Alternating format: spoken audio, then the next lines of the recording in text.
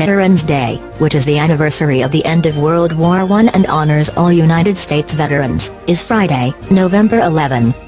Here's a rundown of what we were able to determine regarding what's closed, but the best advice is if you're heading somewhere, call ahead to make sure it will be open. PennDOT, Pennsylvania Department of Transportation driver license and photo license centers will be closed. Capital Area Transit, running on a modified schedule. The following routes will not operate, 2, 23, 81, 82, 120 and the C&M Express. Adams, Cumberland, Dauphin, Lancaster, Lebanon, Perry and York County offices and courts, closed. Federal courts, closed. Post office, closed. State liquor stores, open regular hours. Banks, most are closed.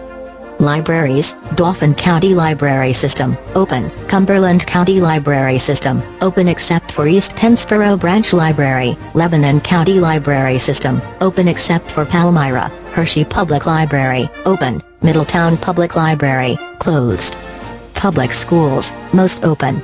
Those closed include Central Dauphin, Harrisburg, Annville-Cleona, Susquehanna Township, Northern York, West Perry, and Susquenita.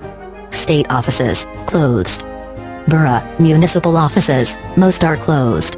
Those open include Derry TWP, Silver Spring TWP, and Hummelstown. Retail stores, supermarkets, open. Trash collection, Harrisburg's Friday collections will be delayed by one day because of the holiday. Penn Waste will collect on its regular schedule. York's collections will operate on its regular schedule. Waste Management also will operate on its regular schedule.